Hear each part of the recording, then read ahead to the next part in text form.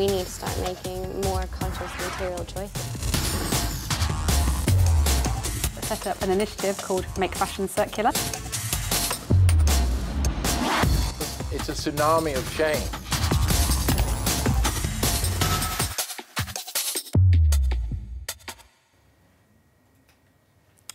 Urban scrapyards found on the fringes of cities like Accra in Ghana are often used as a symbol of today's wasteful economy. Mobile phones, laptops, computers, automobiles, even entire airplanes. For many, and in our showcase in the media, present these as the, uh, the, the epitome of planned obsolescence and design gone bad. But my guest today has a story from these scrapyards, a story to tell, a story of incredible innovation, a story that really highlights that the extraordinary is possible. My name is Seb and I'll be your host for this session. And welcome to the Diff, the interactive online event series that explores the circular, circular economy and related topics and hosted by the Ellen MacArthur Foundation. And we really want to hear from you. We want your questions, your input. We've got DK with us for the next 30 to 40 minutes and, uh, and we want you to ask him your questions. And there are a couple of different ways you can do that. You can do that by commenting in the section on the thinkdiff.co website, which is just to the right-hand side of the video screen or just below. You can do that on the YouTube stream in the comment section on the right-hand side, or you can do it by tweeting us using hashtag thinkdiff. So I'm joined today by uh, a designer, an architect, an assistant professor at Penn State University, DK Osseo-Asare, um, and DK, I've teased the story a bit here, but um, I want you to tell us, because I know many of our viewers will be familiar with these images of maybe rubber being burned or tires being burned. Um, but there's, a, there's actually something fundamentally deeper or different going on in many of these communities. Absolutely. I mean, I think the, the critical thing to understand from the outset is that places like Agbogbloshie or what is called Agbogbloshie Scrapyard is a scrapyard and not a dump. And a dump is sort of where you just leave things, you dump them and leave them sort of basically forever. But a scrapyard is actually an active site where things are reprocessed. Um, and the, the actual goal of a scrapyard is to recover materials out of end of life equipment in order to reuse those materials. So places like Agbogbloshie are actually maker ecosystems, and there's an entire community of people around these spaces who are not only collecting scrap and waste or what what have you from around the city and around really the the region across sub-region of West Africa and bringing it into a place where these things can be dismantled and materials can be recovered but it doesn't just end there those materials then are used to make new products uh, which ultimately serve people around the city and around the region again. I'm going to horrifically mispronounce this, but Agbogbloshie uh, is uh, in Ghana. Um, can you just tell us, I didn't actually intro that, that's, uh, that's one of these uh, of many that might be found in similar areas, scrap yards, for lack of a better word, in near Accra. Sure. I mean, again, it's always a bit strange with, with the Agbogbloshie scrapyard because this is essentially what it's called although technically it's not actually in Agbogbloshie. Agbogbloshie is a kind of commercial district uh, in central Accra. And just across the street from Agbogbloshie proper is uh, a neighborhood called Old Fadama. And Old Fadama is a very dense, very, very lively uh, neighborhood. On one hand, there's a, a slum community which has upwards of 50,000 people living in very close quarters on land reclaimed from the Odaw River and the Korle Bu Lagoon. Um, you also have what's essentially the city of Accra's wholesale vegetable market, uh, where until recently you could buy uh, yams, but you can buy onions, you can buy tomatoes, um, sort of, you know, very, very large scale um, uh, market selling produce, um, as well as other things you would find in that kind of a, of a context of a, of a market. And then you have the scrapyard, uh, which is sort of just also on the banks of the lagoon, um, and where these materials are, are sort of taken apart and reprocessed. But you're absolutely right that a lot of people are so fixated on this one place that they talk about it as if it's the only place in the world that is like this. Um, when in reality, it's just a hub, a relatively significant hub in the West African context, but it's by no means a singular space. It's actually part of a distributed network which has these more these larger scale nodes that are sort of have a central position within cities but you can actually trace these to a much finer grain that virtually every neighborhood across Accra, across major cities in West Africa, you'll have these smaller points where, which are sort of the first points of collection, where scrap is collected and processed at the neighborhood scale before it's ultimately sort of brought into these central hubs. And you've, you've painted your picture of Agbogbloshie as quite a vibe, you know, quite a packed, quite a vibrant, energetic place. And I guess what we're going to be talking about throughout this um, this session is is a lot about entrepreneurial, entrepreneurialism and um, you know especially young people engaging with uh, the opportunities uh, that actually come from the scrapyard as well. Um, and uh, I guess my uh, question there is you talked a lot in your intro about, or the, your initial response to my first question about making and maker spaces and what, I mean, what does that mean? What kinds of activities are actually happening? What are people doing and innovating with um, in places like this? Mm -hmm. So this is so important, and again, something that we've been talking about really since we started this project uh, a number of years ago. But increasingly in the global north or in the west, everyone likes to talk about maker spaces or sometimes like a fab lab, uh, which are super exciting and very cool places because it's kind of an open community space where people can come and gain access to tools um, and equipment, especially tools for digital fabrication. But they can also find a community of expertise and knowledge and learn from other people about how to make whatever whatever it is that they want to make. Um, and so these are really incredible sort of spaces that have um, really a lot of opportunity. But what oftentimes people overlook when you come to a place like Ghana or a place like Accra is that there are massive spaces that are filled with makers that may not look like a fab lab that you might have in London or, or New York or San Francisco, but they're very active and very vibrant, and there's a lot of sort of making happening and a lot of expertise. So that's one of the things that I find so fascinating about Agbogbloshie, the scrapyard. As soon as you go there, you can just sense how alive it is. It's all kinds of noises, people banging things, taking things apart, making things, moving, going here and there. It's incredibly active and incredibly vibrant. Um, in terms of what people are making, again, because this is both a kind of maker ecosystem and a recycling hub, you have the sort of first step of making is actually reclaiming materials. So you'll have people taking apart uh, really anything you can find in a city and beyond, anything from old mining equipment uh, to transformers, photocopy machines, televisions, computers, uh, air conditioners, refrigerators. So there's a lot of kind of e-waste, as they call electrical and electronic equipment, but there's also a lot of automotive scrap. And by weight, there's much more automotive scrap than kind of e-waste as you would typically imagine it. So you can see buses and trucks and lorries and cars being taken apart and all the materials separated out. So all the glass goes in one place, all the steel goes in one place, the various types of plastics are collected and sorted in one place, um, aluminum, brass, etc. So all of these materials are segregated. And then, for example, in the case of plastics, they're typically sorted by type sorted by color, washed, shredded, and then in some cases even pelletized, which means you know they go through a machine and come out as little pellets, which can be sold to factories and used as feedstock for making new plastic chairs, new plastic buckets, new plastic uh, tables. Um, so in that case, you have materials that are recovered, which go sort of more or less back into the so-called formal industry, you know, it's, factories that are a bit larger. It sounds but extremely also, organized when you when you say it in that way, like that the brass is all put in one place, the plastics is all put in one place. Is that is there some kind of central um, organization there, or is it? I mean, how does it actually work? So there are various layers of organization, and they're very much operating through kind of social networks.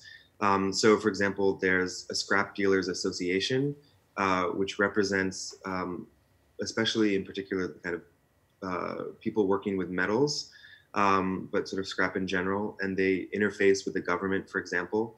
But you also have a lot of sort of, um, on some level, smaller or more lightweight networks that are operating between, uh, according to kind of kinship patterns or, or friends or people that might come from sort of the same sort of hometowns, um, especially in the north of Ghana, and that are now uh, sort of in Accra. So there's a lot of different networks that are overlaid, but very much based on um, who people know and who people trust and building kind of communities of participation around that. But in terms of the sort of overall level of organization, it's actually very similar to something which is often called emergence, which is to say that you can actually create organization or something which appears structured, not through a kind of top down, hierarchical, centralized um, form of organization, but actually something which is much more bottom up and grassroots. And so that's what you find. It doesn't mean that every single piece, all the glass is in one giant pile, hmm. but it means that you have a distributed sort of uh, sort of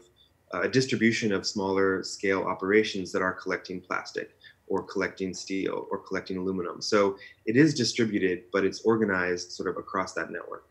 So you were saying that one side of this is the sort of you strip out the materials, rec reclaiming materials, and you were going to go on and say that there's another there's another type of innovation going on or other type. Yeah, so that's that's the first step in a way. It's kind of like when you go to a, a sort of car factory. You know, at the very beginning, they're rolling out large sheets of steel and starting to stamp parts. I mean, the, the first sort of uh, phase of, of the operation in a place like Agbogbloshie is taking things apart in order to recover materials. But at the same time, people also recovering components. So they're looking for parts, especially, for example, in electrical and electronic equipment. So pieces of old computers that might still work, even though the computer doesn't. And these components are also collected and sold as, as used parts for repair outfits and for technicians that refurbish and repair all kinds of electrical and electronic equipment. So you have on another end, you have um, sort of refurbished products coming out, which are sold at a very affordable price point. Um, and that keeps products from sort of, again, being dumped um, and actually extends the life of, of, of, these products for a longer period of time. Um, and also, in some cases, can make them more accessible to people that couldn't afford a brand new device. Um, but then what's particularly interesting is you also have a dimension of this where the materials are being transformed.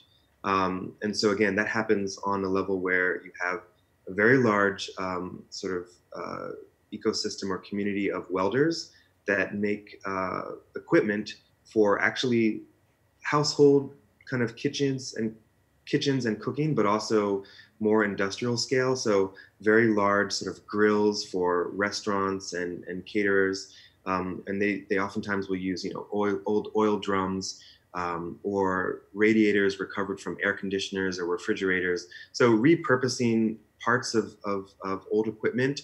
Um, and then you also have on the sort of even more extreme end of transformation, you actually have um, sort of cottage industry uh, smelters who are actually taking, you know, aluminum, melting it down and casting it to make uh, parts for the building industry, sort of decorative um, components for fences, uh, but also casting things like cauldrons and pots and spoons that, that people buy just next door in the market.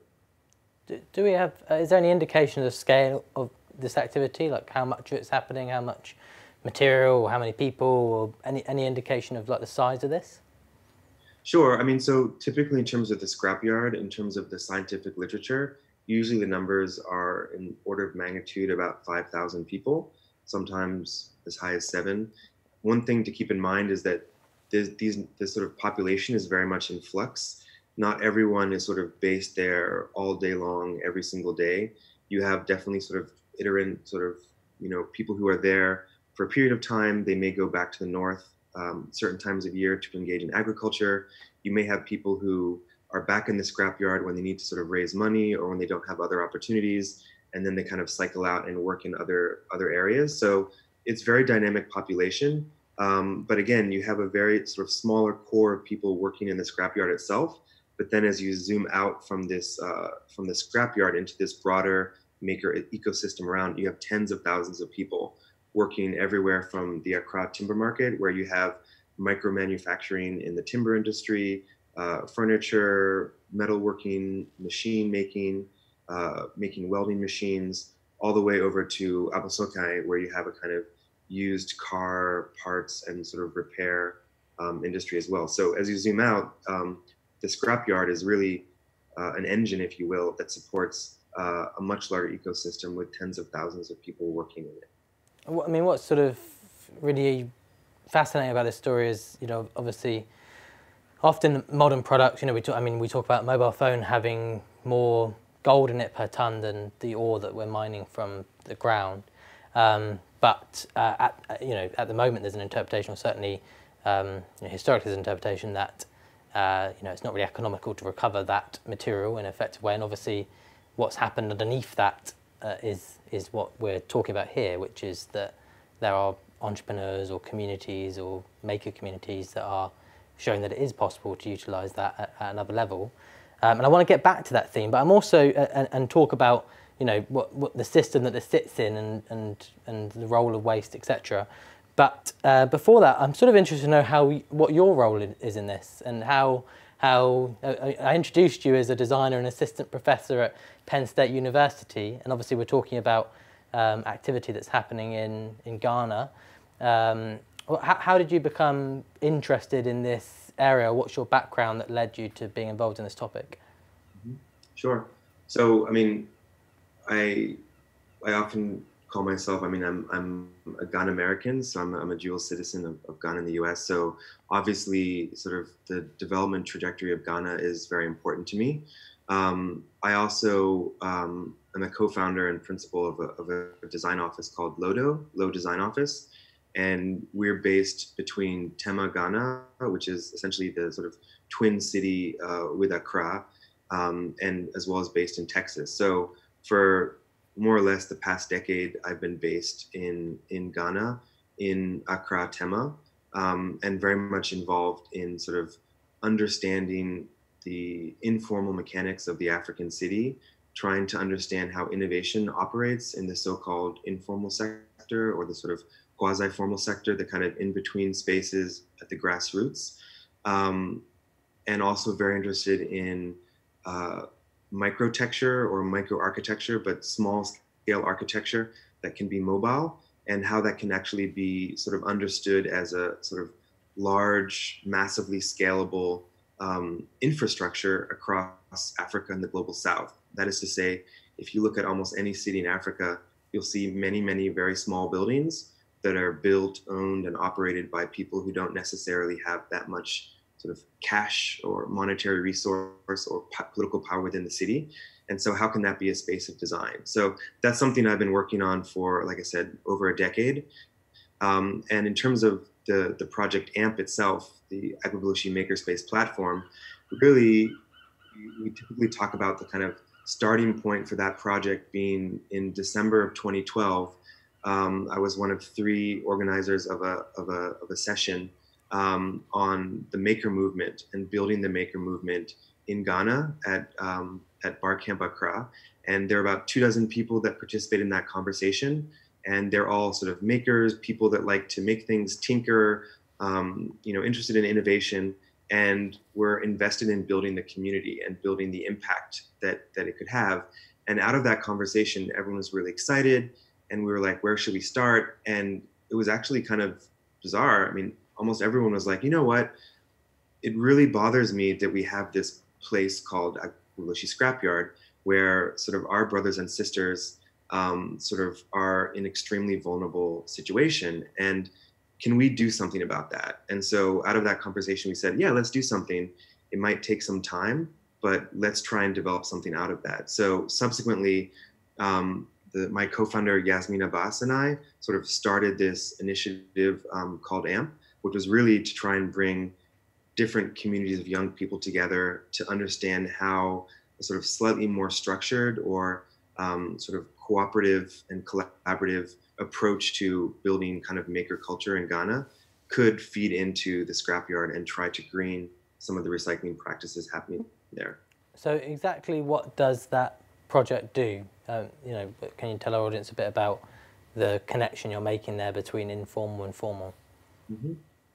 Sure. So, I mean, and I guess we'll talk about that this more. It's partly why I guess we're having this conversation is to unpack uh, this project because it's not a simple one thing. It doesn't lend itself to a very sort of succinct explanation, but at its core, it is, like I just said, about trying to bring together different groups of young people um, in Ghana and now increasingly across West Africa. And I, I'll tell you why is that, you know, every year in Ghana alone, you know, over a million young people effectively enter the job market, which means, you know, they have to look for a job, but there's nowhere near enough jobs for them. So they essentially have to create their own jobs or create their own opportunities, create their own future. And the challenge that we've found, and I, I taught for a number of years also in Ghana, um, is that you have sort of kind of bizarre condition, which is that you have uh, sort of a good number of young people that have been fortunate enough to get uh, well to go to university and to have gotten you know a degree in especially we focus on what people call the STEAM field, so science, technology, engineering, arts, and mathematics. And the schools in Ghana are quite good, and so these educations are, are quite strong, but there's a, a sort of very real bias towards sort of theoretical knowledge, which in Ghana people sometimes call book knowledge. So you know how to take exams and, and study for sort of tests very well, but not every sort of young person coming out of university feels super comfortable um, making stuff and sort of either building a business or building a product um, or developing something in a way with their hands. But on the flip side, you have a lot of other young people who did not go through sort of the same type of an educational uh, process um, and learned either through apprenticeship, so learning how to be a welder or a mechanic or a blacksmith or a mason by as a young person starting to work on the job site or work in a workshop and learn from effectively a master. Um, and that's not sort of book knowledge. It's not technical knowledge in the same way. It's more what we like to call practical know-how. But they also oftentimes, even though they don't necessarily have as robust a kind of repository of technical knowledge, um, they have a very incredible ability to figure things out and a kind of fearlessness to try. And so typically these two communities of young people have very little to do with each other because of class biases, ethnic biases, etc. And so really the starting point was to say, can we bring these two communities of young people together to make stuff and and have fun together and then sort of out of that try to sort of um, upskill and upscale uh, different approaches to technology culture. And what, and what does that actually look like? Is that partnerships with schools, for example, or um, partnerships with or working with the communities that are based around Agbogbloshie. Um, mm-hmm. you, uh, you know, how, how, do, how do the mechanics actually work for it, and how, how hard was it to convince, um, you know, a, a, a, one of the universities that you were mentioning there to, you know, to send their students to some kind of mm-hmm. collaboration in this? Mm-hmm.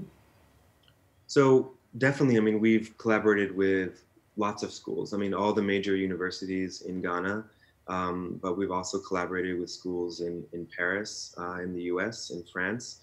Um, so really it's been a collaboration between um, very much young people in Ghana, in West Africa, um, as well as in Europe and the United States. Um, but that's really just part of it because again, our focus is really at the grassroots. So sort of after a kind of year long community building process and um, engaging stakeholders uh, very much in the scrapyard itself and around the scrapyard.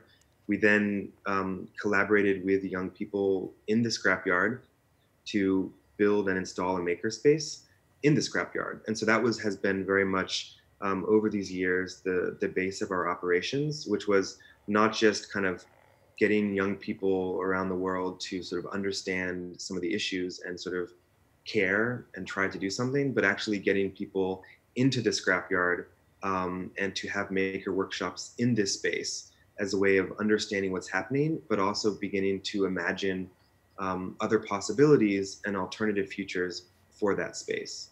So, so far we've worked with over 2,000 young people, um, and about half of them are what we call sort of grassroots makers. So either scrap dealers working in the Agbogbloshie scrapyard or in the kind of ecosystem in this sort of immediate context in Accra, and then another thousand um, sort of students, recent graduates, and young professionals in STEAM fields of science, technology, engineering, arts, and mathematics.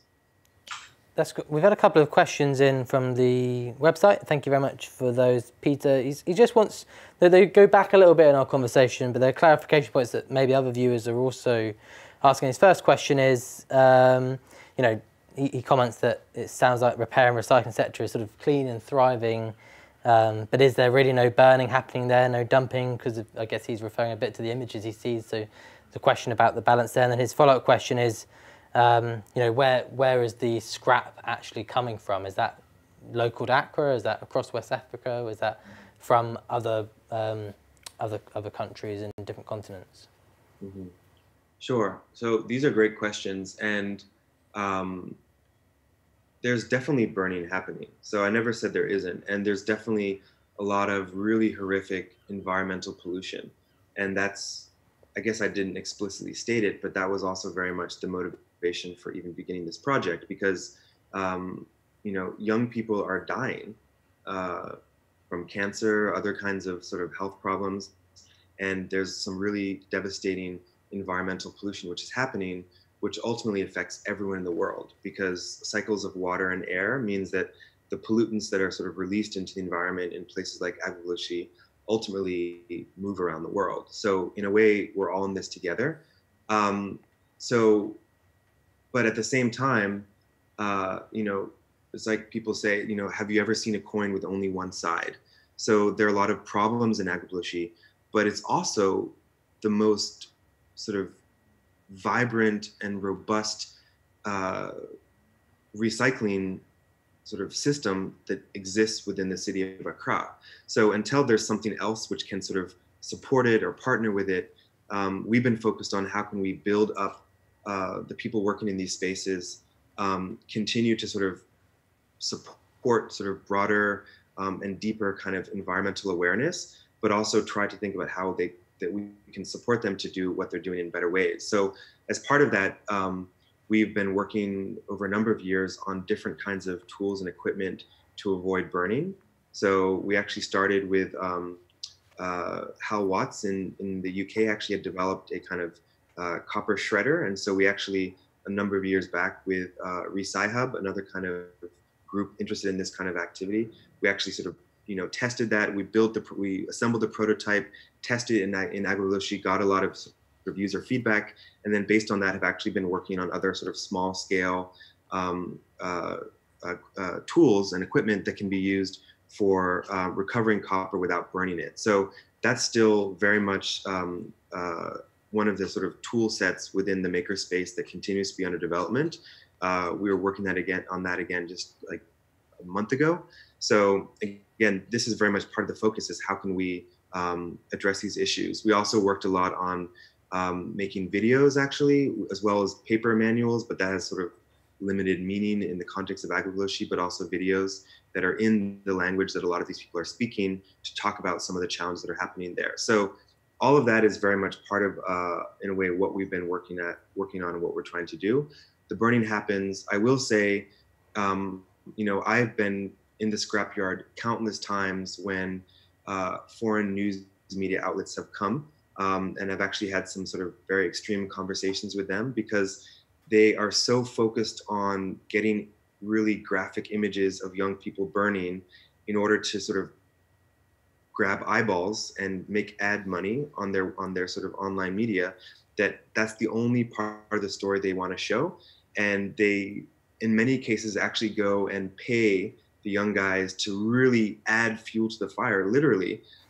Um, even like you know petrol and add things just to make the fires larger and more intense to get more intense photographs. So i just want to point out that the international news media not all of them obviously but definitely some of the more unscrupulous sort of people have been very real participants in um, uh, contributing to this in, in a way that they obviously don't talk about on the flip side in terms of where the um, where does the scrap come from so the original narrative was that this was all scrap that was dumped from the global north, arriving in shipping containers in Agbogbloshie, and then all being burnt. And that that sort of myth has very much been disproven. Um, I mean, the scientific literature increasingly is talking about the fact that the the majority of sort of used electrical and electronic equipment coming into Ghana is not actually e-waste. It's not scrap. Um, it's actually very much in terms of the used equipment these are actually um, uh, you know things that get repaired if they need to be or refurbished and then are resold. So the vast majority, in terms of what's coming into the country, is not just pure scrap. It's not going immediately to the scrapyard. Um, so increasingly, the scrap that you find in Agbogbloshie is technically classified as internally generated, which means it's either coming from new equipment that was purchased and used by somebody in Ghana or the West African subregion, or it's um, coming out of a refurbished piece of equipment that has been used for any number of years before it finally met its end of life. So simply to say again, yeah, this is part of a much larger uh, network across the city and across the country and across the West African subregion of tens of thousands of small scale electrical and electronic uh, sort of technicians who repair and refurbish equipment that was purchased new or was brought in secondhand and extend these products over as long a lifespan as possible before finally they end up in the scrapyard. In a moment, I want to talk about some bigger picture topics. I want to ask you about what your biggest challenge was. I want to talk about, uh, you know, the, the long-term vision and uh, and some of the system it sits around. Before we do that, I'm just going to pass over to my colleague Lou. This uh, this session sits within three days of intensive diff activity, and she's going to tell you a little bit about what else you can find. Hi everyone, and thanks for joining this brilliant session with our guest DK Osseo-Asare. I'd just like to take a minute to talk about some upcoming sessions at this diff. To close this first day with a bang, we'll be discussing using fire to cool the earth through the use of biochar, and that's at 4:30 p.m. BST. And we continue our journey tomorrow. Tune in at 12 pm BST to learn how open source is changing the game of design.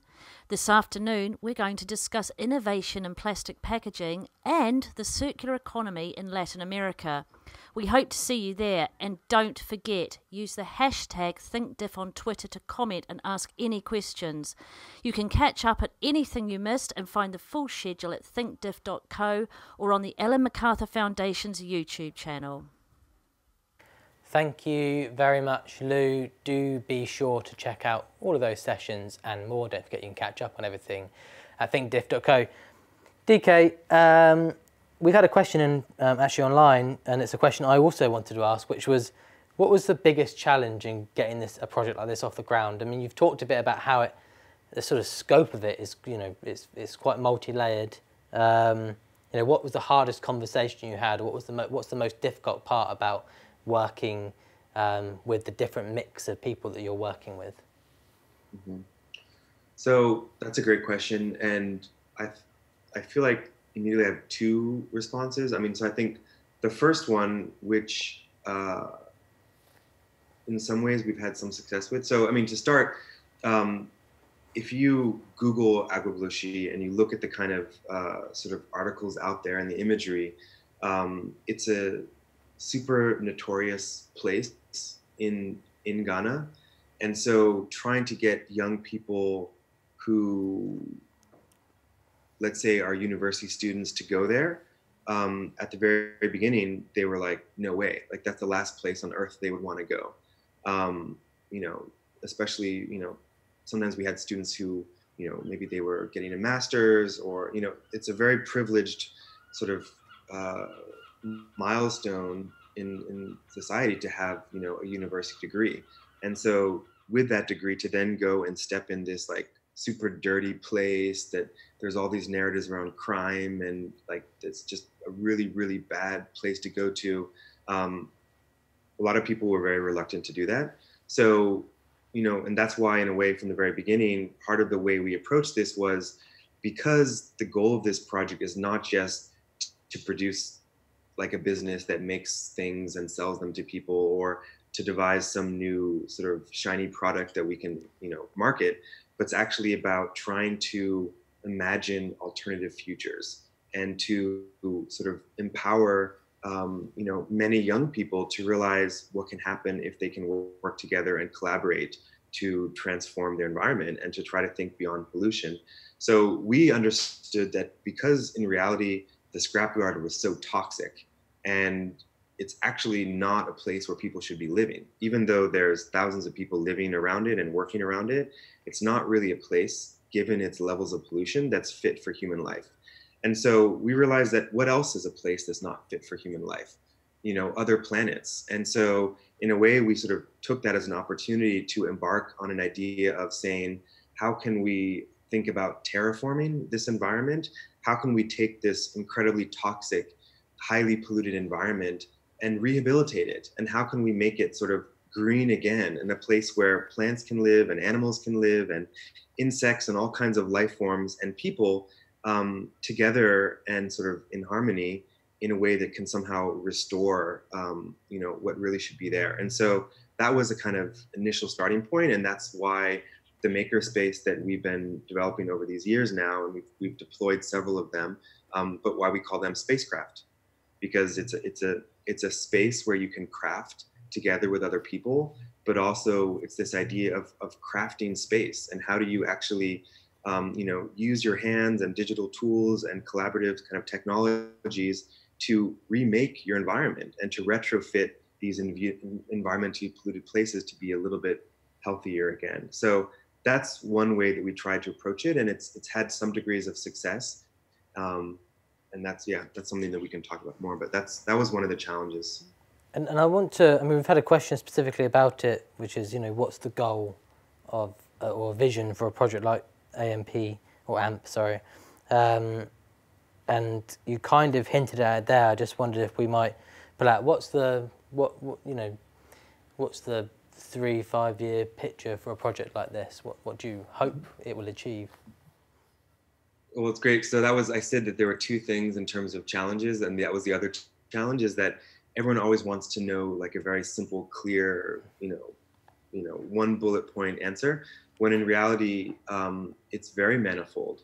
Um, but I guess you know, ultimately, it's about trying to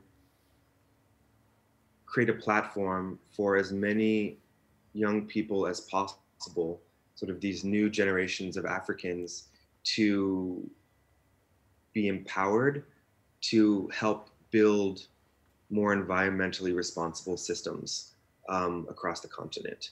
So, so to not just sort of make to sort of focus on transitioning people from consumers to makers and producers, but to really empower um, a very specific type of making, which is collaborative um, around sharing, around uh, commons-based approaches of knowledge commons, uh, equipment's commons, but sharing resources and sharing opportunities together to amplify as much as possible um, what people can do to to really transform um, you know the future of the continent to be a little bit greener.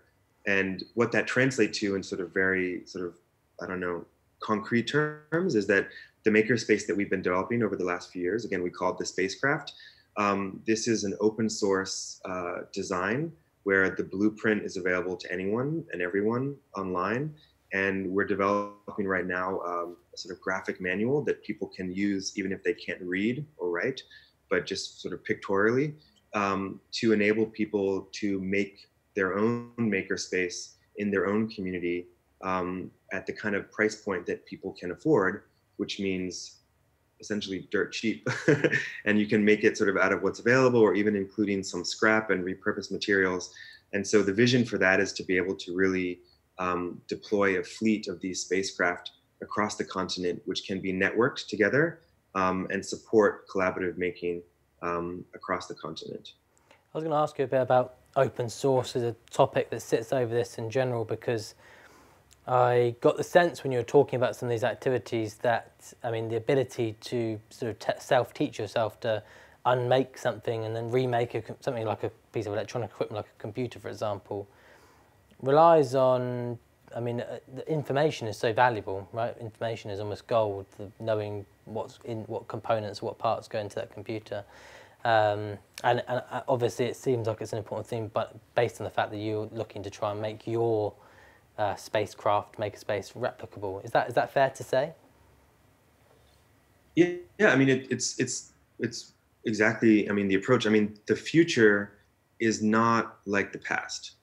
And I mean, if you teach young people today, you'll see that you know if you start talking blah blah blah about whatever, and they have access to the internet, they're just going to go to the internet because they can find almost anything that they want to know there and you can share what you're doing and collaborate with other people so the future is inevitably much more collaborative because there's sort of new tools that are massively scalable to to enable that kind of collaboration so um, you know we consider it very important in the context of africa to think about what open source can mean um, from the bottom up, from the grassroots.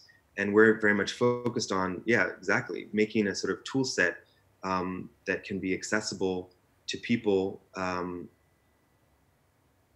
to make themselves um, as a way of making sure that that innovation is inclusive. I, you know, there's something about that. The future is inherently collaborative. That's very inspiring.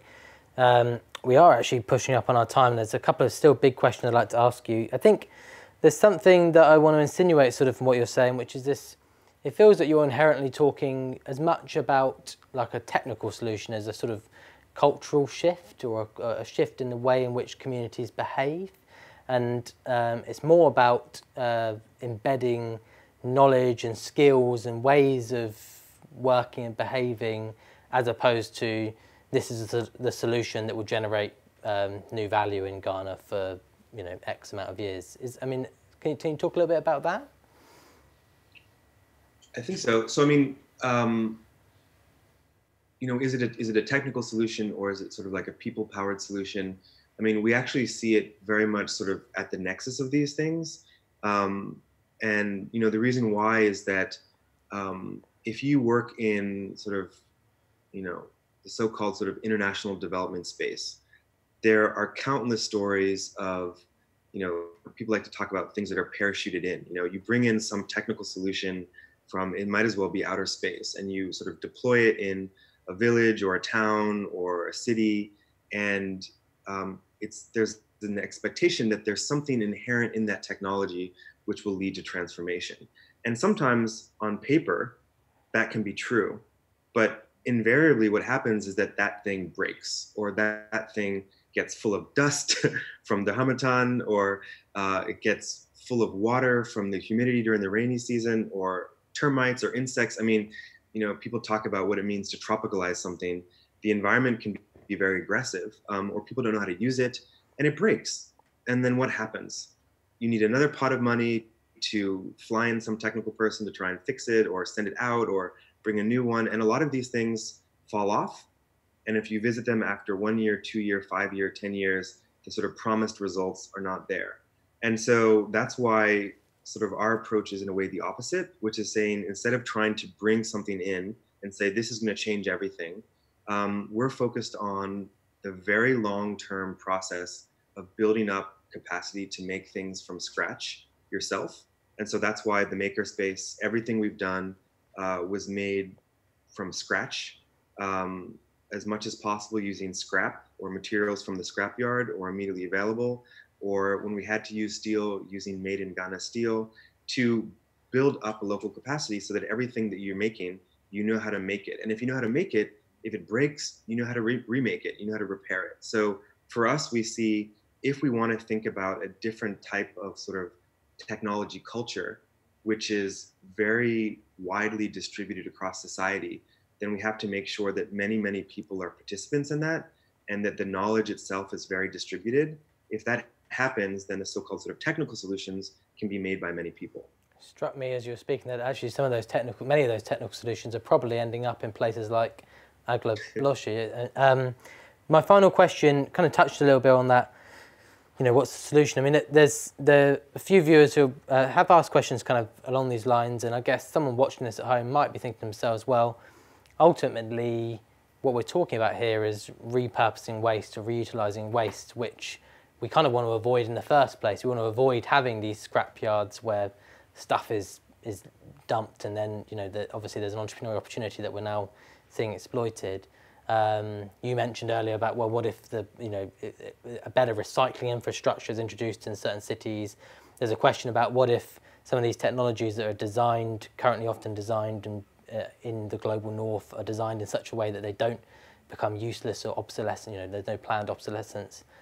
where where does this story sit in that solution space? Um, you know, is it is it actually the case that we want to design out these entrepreneurial opportunities in the long term, or is there always going to be a space for this kind of activity, or you know, uh, wh- where do you see that that playing?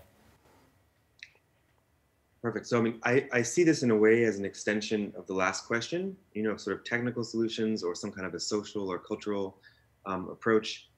So, you know, we have talked about, in a way, the framework for the project, the Agbogbloshie Makerspace platform project as Sankofa innovation. And, and Sankofa is a kind of concept in the Akan peoples. Uh, it's an Adinkra symbol, and it means sort of that in order to um, sort of move forward or have a sort of productive future, you have to learn from the past or, in a way, access the knowledge of the ancestors. And we talk about that very much in the context of innovation because so often people are focused on, well, the future is, is different. We have to just focus on the future. And I even just said it. But at the same time, if we want to move into the future, we need to understand the knowledge that has existed in the past and understand how that can inform the future. And I'll give you two examples one from uh, sort of Kenya, one from Nigeria, but you know this happens all across Africa. Um, I lived for a number of years in sort of eastern Nigeria in a sort of small, essentially village context in, in essentially the forest, and everyone had a plantain tree behind their house, and when they had waste, they would throw it at the base of the plantain tree, and sometimes you would find that they would throw their plastic waste there as well, which obviously doesn't biodegrade and is problematic. But why is it that people throw all of their waste at the, their sort of household kitchen waste at the base of this plantain tree? Because historically, over time, people knew that it would degrade back into the soil, it would feed the plants, and it would enrich the soil, and then they would be able to eat the plantains that grow from the tree, right? So there was a very clear understanding that what you were using had some form of sort of sort of outputs that you couldn't use anymore. You know, the skin of a banana, of cassava, yam peels, but that those still had value and that you could recycle them back into your immediate context.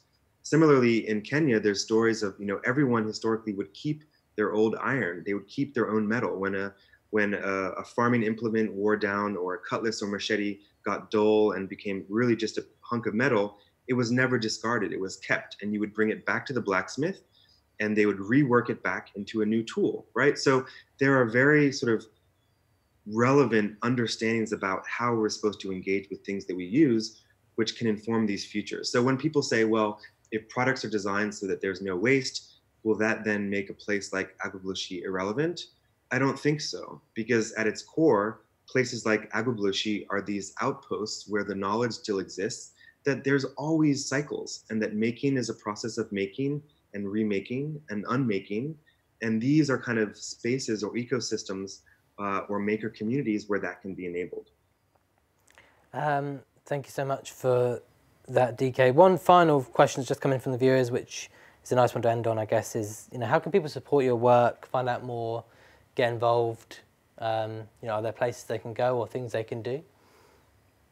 Uh, well, sure. I mean, you can, you know, email us, find us on social media, and just reach out. I mean, lots of people have, and I should say thank you to all those people. It's really amazing to get these emails of support from all over the world um, or people that send support to try and um, enable sort of the work that we're doing.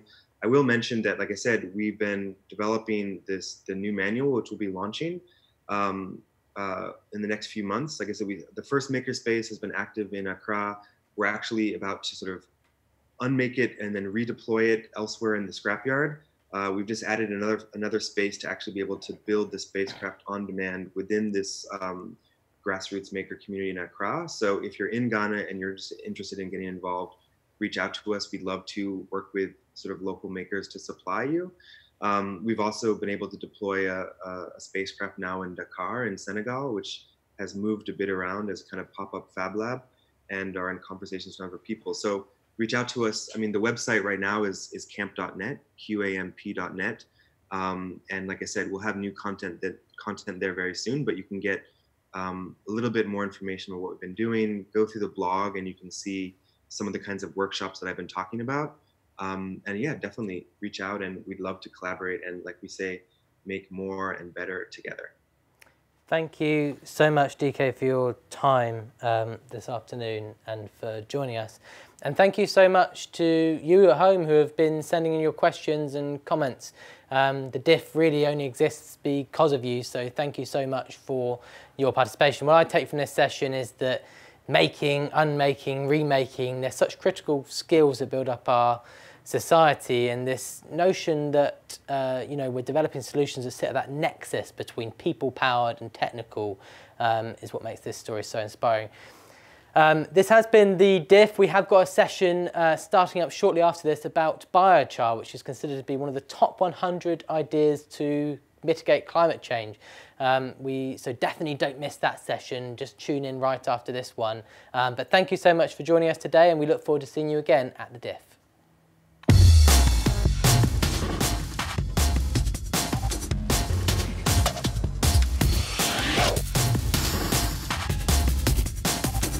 We need to start making more conscious material choices. Set up an initiative called Make Fashion Circular. It's a tsunami of change.